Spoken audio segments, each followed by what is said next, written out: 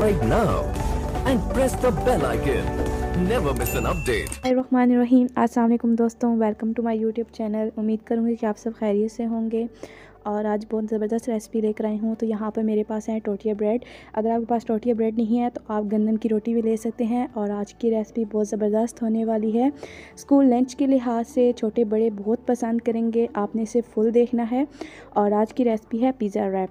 बहुत मज़ेदार बनेगी, बिल्कुल पिज़्ज़े की तरह आपको फ्लेवर आएगा और बहुत मज़े का आप इसे पिज़्ज़ा पराठा भी कह सकते हैं। तो चलिए स्टार्ट करते हैं। सबसे पहले मैंने टोटिया ब्रेड ले ली है, जो कि मैंने ख़ुद बनाई है घर में। इंशाल्लाह आपको इसकी रेसिपी ज़रूर दूँगी। और सबसे पहले यहाँ पे मैंने इसको कटर से आप नाइफ़ से, किसी भी सीज़र से भी आप इसकी कटिंग कर सकते हैं। आपने एक साइड से इसको कट कर लेना है। कट करने के बाद आपने इसका इस तरीके से रैप बनाना है, यानी से आपने फ़ोल्ड करके पराठे की शक्ल में ले आना है। तो दोनों टोटिया ब्रेड को मैंने इसी तरीके से कट कर लिया है। तो अब हम इसका मिक्सचर रेडी करते हैं कि किस तरीके से हमने इसको बनाना है। तो सबसे पहले यहाँ पर व्यूअर्स मैंने ले लिया है पिज़्ज़ा सॉस पिज़्ज़ा सॉस मैंने लिया है टू टेबल स्पून और साथ साथ ब्रश के साथ मैं इसको मिक्स कर रही हूँ। अगर आपके पास पिज़्ज़ा सॉस नहीं है तो आप यहाँ पर केचप यूज़ कर सकते हैं। अगर टोटिया ब्रेड भी नहीं है तो आप गंदम की रोटी भी इस्तेमाल करके ये लंच बॉक्स बना के बच्चों को दे सकते हैं, जो बहुत मज़ेदार बनता है।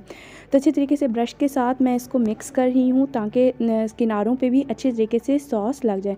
तो यहाँ यहाँ पे मैंने कुछ वेजिटेबल्स ले ली हैं और चिकन लिया है।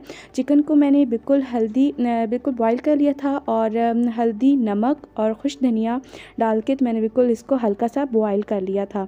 तो बॉयल होने के बाद आप किसी भी फ्लेवर में चिकन ले सकते हैं। यहाँ पर आपके पास कोई भी चिकन बना हुआ घर पड़ा है तो आप वो भी यूज़ कर सकते हैं यहाँ पर। शेड करके मैंने इसको यहाँ पर डाल दिया है। कुछ वेजिटेबल्स ले ली हैं जिनमें शिमला मिर्च है मेरे पास और ऑनियन और टमाटो है। तो आपने इनकी छोटी सी कटिंग कर लेनी है और इसको एक साइड पर रख देना देना है। आपने इसी तरीके से इनको बिल्कुल इसी तरीके से आपने ये रेडी करनी है जिस तरह रेसिपी मैं बना रही हूँ। आपने इसको फुल फॉलो करना है और एक साइड पे हमने ये वेजिटेबल्स रख दी हैं। अगर आपके पास को, आपको कोई और वेजिटेबल्स पसंद है तो आप यहाँ पे रख सकते हैं।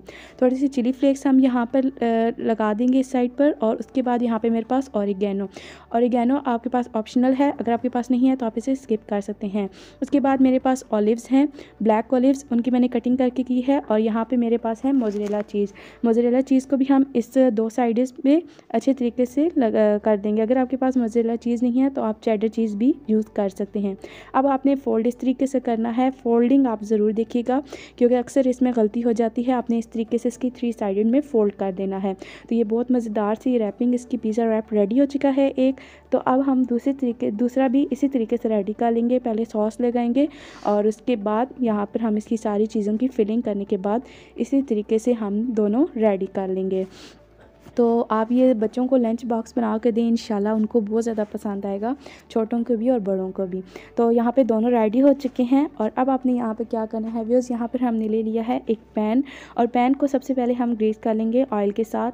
बहुत ज़्यादा ऑयल नहीं डाल देना, आपने बिल्कुल बस हल्का सा ग्रीस करेंगे और उसके बाद यहाँ पर तकरीबन वन टेबल स्पून आप डाल सकते हैं ऑयल की। और उसके बाद यहाँ पे मैंने पिज़्ज़ा रैप एक ले लिया है। और इसको ये बहुत जल्दी बन जाएगा। मीडियम फ्लेम आपने रखनी है और इसको थोड़ा सा ऑयल ब्रश कर दीजिएगा। जब हम एक साइड से इसको दूसरी साइड से पलटेंगे तो ये ब्राउन कलर बहुत प्यारा आ जाएगा। तकरीबन दो मिनट बाद हम इसकी साइड को चेंज कर देंगे और देखिए बहुत ही प्यारा खूबसूरत खूबसूरत कलर आया है इसका। और इसी तरीके से आपने ब्राउन कलर दूसरी साइड से भी लाना है। दोनों पिज़्ज़ा रैप को आपने इसी तरीके से रेडी करना है और ये चार मिनट लगे और हमारा पिज़्ज़ा रैप रेडी हो चुका है। हल्का सा ऑयल ब्रश और किया है मैंने ताकि अच्छा सा ब्राउन कलर आ जाए। तो ये रेडी हो चुका है पिज़्ज़ा रैप की। आज की हमारी रेसिपी कंप्लीट हो चुकी है। तो व्यूअर्स यहाँ पर मैं आपको दिखा दूँ ये बहुत मज़ेदार और क्रिस्पी बनता है। बहुत क्रिस्पी बनता है। आपने इसे ज़रूर ट्राई करना है और अपना मुझे फीडबैक ज़रूर देना व्यूअर्स ये देखने में जितना अच्छा लग रहा है उतना ही खाने में मज़ेदार है। तो इसकी कटिंग आप इस तरीके से कर लें और एक पिज़्ज़ा रैप के आप दो पीसेस कर लें और आप लंच बॉक्स में दें, बहुत अच्छा लगेगा। और लाइक ज़रूर करें शेयर करें, मेरे चैनल को सब्सक्राइब करें। अगली वीडियो तक अल्लाह हाफिज़।